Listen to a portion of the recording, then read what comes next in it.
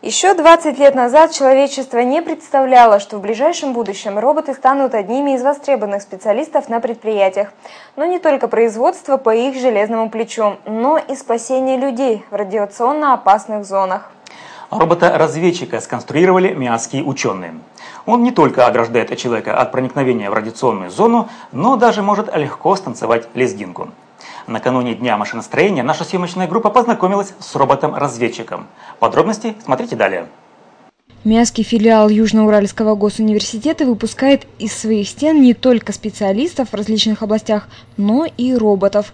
Более 20 лет в небольшой лаборатории творят, возможно, лучшие в мире робототехники.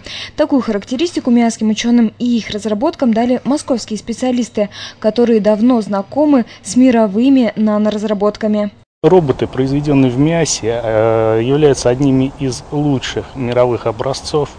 Э, практически в тех условиях, в которых э, работают эти роботы, более никто не может работать по радиации, по загрязнению, по возможности выполнения работ, заявленных нами в техническом задании.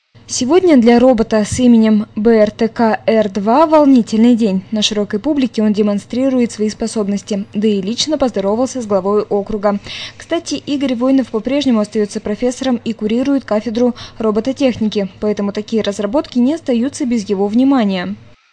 Вообще большая гордость за наших разработчиков, вот, и за тех, которые здесь в Миасском филиале ЮРГУ работают, и за аспирантов, которые уже сейчас подключаются к этим работам. Вот. Ну и, конечно, э, главная заслуга здесь, или одна из главных заслуг, это заведующий лабораторией Борис Александрович Морозов. Он просто отдается всему этому делу последние два десятка лет. И мы для э, робота-центра, который расположен в Москве, уже сделали примерно около десятка различных роботов. И сейчас впервые получили серийный заказ.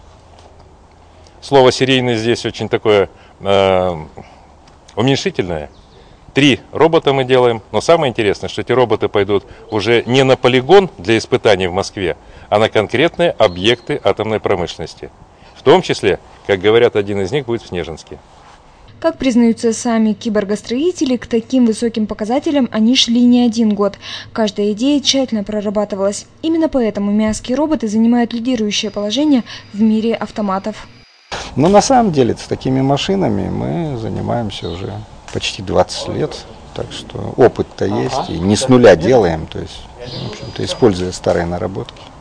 Задача этого киборга очень важная – работать в радиационно опасных зонах. Но, несмотря на серьезную функцию, робот-разведчик оказался очень веселым и с удовольствием станцевал лезгинку.